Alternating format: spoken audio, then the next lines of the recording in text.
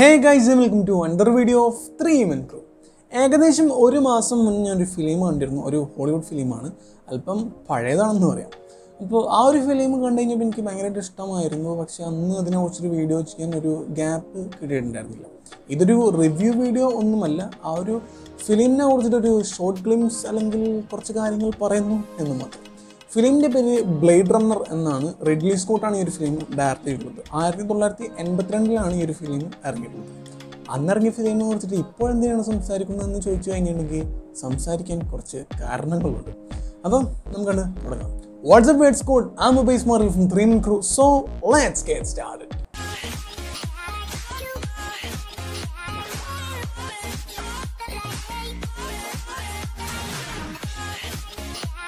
Ridley സ്കോട്ടിന്റെ Blade Runner എങ്ങനെ ഞാൻ കണ്ടു എന്നുള്ളത് ഭയങ്കര കോമഡിയാണ് കാരണം ഡബ്ല്യു ബിയുടെ അപ്കമിങ് ഫിലിമായ ഡ്യൂൺ എന്ന് പറയുന്ന ഫിലിം കാണാൻ വേണ്ടി എനിക്ക് ഭയങ്കര ആന്റിസിപ്പേഷൻ ഒക്കെ ഉണ്ട്. അപ്പോൾ ആ ഒരു ആന്റിസിപ്പേഷൻ നൈസായിട്ട് തലക്കടിച്ചപ്പോൾ അതിന്റെ നോവൽ വേർഷൻ ഒന്ന് വായിക്കണം എന്നൊരു ആഗ്രഹം ഉണ്ടായിരുന്നു. അപ്പോൾ നോവൽ വെർഷൻസ് തപ്പിപ്പോയപ്പോൾ കുറേ എണ്ണം ഉണ്ട്. ഒരു ഇരുപത്തെട്ട് എഡിഷൻ ഉണ്ടെന്ന് തോന്നുന്നു. ഞാൻ തപ്പിപ്പോയപ്പോൾ എനിക്ക് അത്രയാണ് കണ്ടത്. ആൻഡ് അത് വായിക്കായിരുന്നുണ്ടെങ്കിൽ ഈ പതിറ്റാണ്ടും നൂറ്റാണ്ടും തീരില്ല അത്ര അധികം ഉണ്ട് വായിക്കാൻ. അമ്മാതിരി ലെങ്ത് ഉണ്ട് ആ ഒരു നോവൽ സീരീസ് അപ്പോൾ മനസ്സിലായി ഡ്യൂൺ ഫിലിം വരാൻ വേണ്ടിയിട്ട് അത്രയധികം വെയിറ്റ് ചെയ്യേണ്ടി വരും. അല്ലാണ്ട് ഇത് വായിക്കാൻ നോക്കിയിട്ടുണ്ടെങ്കിൽ ഇന്നൊന്നും തീരില്ല ഈ പതിറ്റാണ്ടിലും തീരില്ല എന്ന് തീരുന്നു ഒരറപ്പുമില്ല. അപ്പോൾ അങ്ങനത്തെ ഒരു രീതിയിലാണ്.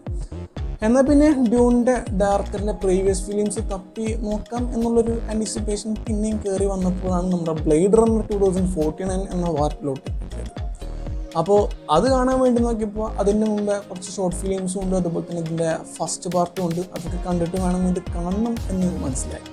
അപ്പോൾ അങ്ങനെ വന്നപ്പോൾ എന്നാൽ പിന്നെ ബ്ലേഡ് റണ്ണർ കാണണം എന്ന് വിചാരിച്ചു. അങ്ങനെയാണ് റിഡ്ലി സ്കോട്ടിന്റെ ബ്ലേഡ് റണ്ണർ എന്ന ഫിലിമിലോട്ട് ഞാൻ എത്തിപ്പെട്ടത് സാധാരണ നമ്മളൊരു സീരീസിനെ കുറിച്ചോ ഫിലിമിനെ കുറിച്ച് സംസാരിക്കുമ്പോൾ അതിന്റെ പ്ലോട്ടിനെ കുറിച്ചിട്ട് പറയുന്നത് സ്വാഭാവികമായിട്ടും ഈ ചാനലിലൂടെ നമ്മൾ പറയുന്നൊരു കാര്യമാണ്.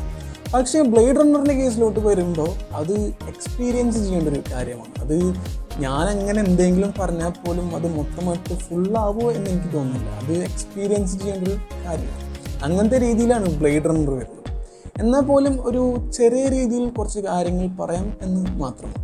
അപ്പോൾ ബ്ലേഡ് ഒരു തീം എന്ന് പറയുകയാണെങ്കിൽ ഈ ഫിലിമിൽ ഒരു ഹ്യൂമൻ റെപ്ലിക്കൻസ് എന്ന് പറയുന്ന ഒരു കോൺസെപ്റ്റാണ് എന്ന് വെച്ചാൽ ഈ ഫിലിമിൽ ഈ ഡൊമസ്റ്റിക് പർപ്പസിന് വേണ്ടി കുറച്ച് റോബോട്ട്സിനൊക്കെ ക്രിയേറ്റ് ചെയ്യുന്നുണ്ട്. എക്സാക്ട്ലി ഒരു ഹ്യൂമൻസിനോട് എന്താ പറയുക സിമിലർ ആയിട്ടുള്ള രീതിയിലുള്ള കുറച്ച് റോബോട്ട്സിനൊക്കെ ക്രിയേറ്റ് ചെയ്യുന്നുണ്ട്.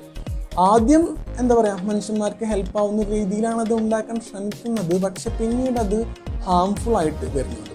ആൻഡ് അങ്ങനെ ഹാംഫുൾ ആയിട്ട് വരുമ്പോൾ ഇവരെ ടെർമിനേറ്റ് ചെയ്യുക അല്ലെങ്കിൽ ഡിസ്ട്രോയ് ചെയ്യാൻ വേണ്ടിയിട്ട് കുറച്ച് സീക്രട്ട് ഏജൻസുകളെ ഇറക്കുന്നുണ്ട്. അങ്ങനത്തെ ഒരു ടീം വെച്ചിട്ടാണ് ബ്ലേഡ് റണ്ണർ എന്ന ഫിലിം പോകുന്നത്.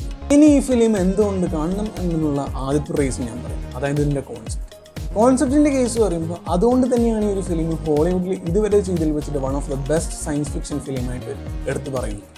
അങ്ങനത്തെ ഒരു രീതിയാണ് ഈ ഒരു ഫിലിം ഉള്ളത്. അത് കണ്ടു കഴിഞ്ഞാൽ നിങ്ങൾക്ക് മനസ്സിലാവും. അത്രയും ഗംഭീരമായിട്ട് പറയാനുള്ള ഒരു കോൺസെപ്റ്റും അതിന്റെ ഒരു എക്സിക്യൂഷനും കാര്യങ്ങളൊക്കെ വരുമ്പോൾ സംഭവമാണ്. ഇത് കണ്ടു കഴിഞ്ഞിട്ടുണ്ടെങ്കിൽ നിങ്ങൾ പ്രായം വിളിച്ചിരിക്കും. അങ്ങനത്തെ ഒരു കംപ്ലീറ്റ് സെറ്റപ്പ് ഈ ഫിലിമിനുണ്ട് രണ്ടാമത്തെ കാരണം ഈ ഫിലിമിന്റെ വിഷ്വൽസാണ് ഞാൻ പറയുകയാണെങ്കിൽ ഈ ഫിലിം നിങ്ങൾക്ക് കാണാൻ പറ്റുന്നതിൽ അത്ര മാക്സിമം എഫക്റ്റ് കിട്ടാൻ പറ്റുന്ന ഡിവൈസിൽ വേണം. അതായത് നിങ്ങളുടെ കയ്യിൽ ഇപ്പോൾ ഒരു ലാപ്പ് ഉണ്ടെങ്കിൽ അതായത് മാക്സിമം നിങ്ങൾക്ക് ഒരു ലാപ്പിൽ വെച്ചിട്ടാണ് കാണാൻ പറ്റുന്നതെങ്കിൽ ലാപ്പിൽ കാണാം. പി സിയിലാണ് കാണാൻ പറ്റുന്നെങ്കിൽ പി സിയിൽ കാണാം. ടി വിയിലാണ് കാണാൻ പറ്റുമെങ്കിൽ ടി വി കാണാം. കാരണം ഇത് ഒരു ഡിവൈസിന്റെ ഒരു രീതി മാറുന്നതനുസരിച്ചിട്ട്. ഇപ്പോൾ ഫോണിൽ കാണുന്നതുകൊണ്ട് കുഴപ്പമൊന്നുമില്ല. പക്ഷേ ഒരു ടി വിയിലോട്ടോ ലാപ്പിലോട്ടോ ഒക്കെ ഒരു ഫിലിം ഇരുന്ന് കാണുകയാണെങ്കിൽ വിഷ്വൽസിന്റെ ഒരു എഫക്റ്റ് എന്ന് പറഞ്ഞാൽ നിങ്ങൾക്ക് വേറെ ലെവലായിട്ട് തോന്നും അത്രയും എന്താ പറയുക കണ്ടു കഴിഞ്ഞിട്ടുണ്ടെങ്കിൽ വേറെ ലെവലാണ് അമ്മാതിരി രീതിയിലുള്ളൊരു വിഷ്വൽസും കാര്യങ്ങളൊക്കെ ഉണ്ട്.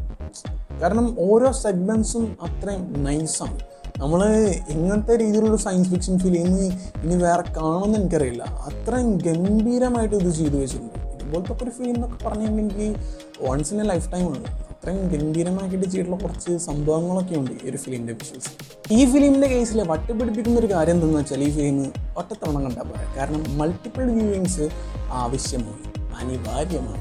കാരണം ഒറ്റത്തവണ കണ്ടാൽ ഈ ഫിലിമിന് ശ്രദ്ധിക്കാത്ത കുറേ കാര്യങ്ങളൊക്കെ കണ്ടുപിടില്ല ആ ശ്രദ്ധിക്കില്ല കാരണം ഈ ഫിലിം ഓരോ തവണ കാണുന്തോറും നമുക്ക് പുതിയ ഇൻഫർമേഷൻസ് കിട്ടും. കാരണം ഈസ്റ്റർ എക്സിന്റെ അയ്യര് കളിയുള്ള ഒരു ഫിലിമാണ് ബ്ലൈഡർ എന്ന് പറയുന്നത്. കാരണം ഞാൻ ഓരോ തവണ കാണും തോറും എനിക്ക് അതുവരെ നോട്ടീസ് ചെയ്യാത്ത കുറേ കാര്യങ്ങളൊക്കെ കിട്ടിയിരുന്നു. ഇനി ഈ ഫിലിം നിങ്ങൾക്ക് ഒന്നിൽ കൂടുതൽ തവണ കാണാൻ പറ്റില്ലെങ്കിൽ യൂട്യൂബിൽ ഈ ഒരു ഫിലിമിന്റെ എക്സ്പ്ലനേഷൻ വീഡിയോസ് കുറേ എടുക്കുന്നുണ്ട്. അതൊക്കെ കണ്ടു കഴിഞ്ഞാൽ നിങ്ങൾക്ക് കുറേ ഹിൻസ് ഒക്കെ കിട്ടും. നിങ്ങൾ ശ്രദ്ധിക്കാത്ത കുറേ വിധ പോയിൻസൊക്കെ ആ വീഡിയോയിലൂടെ കണ്ട് നിങ്ങൾക്ക് മനസ്സിലാവും.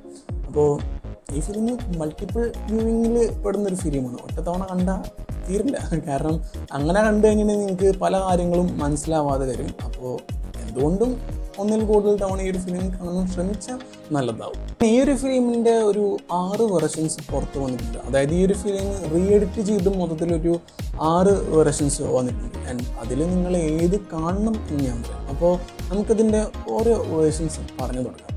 അതിൽ ഫസ്റ്റ് വന്നത് സാൻഡിയേഗോ സ്നീക്ക് പ്രിവ്യൂ ആണ്. അതാണ് ഫസ്റ്റ് ഇറങ്ങിയത്. പിന്നെ യു എസ് തിയേറ്ററിക്കൽ റിലീസ് ഉണ്ടായിരുന്നു. അതാണ് കൂടുതലും തിയേറ്റർ റിലീസായിട്ട് വന്നിട്ടുണ്ടായിരുന്നത്.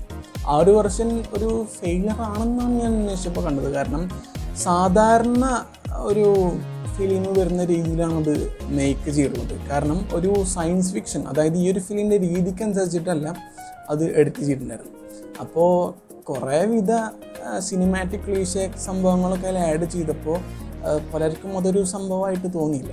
അപ്പോൾ അന്ന് കണ്ടവർക്ക് ഇതത്ര വലിയ സംഭവം അല്ല എന്നാണ് അന്നത്തെ റിപ്പോർട്ടും കാര്യങ്ങളൊക്കെ വന്നിരുന്നത്.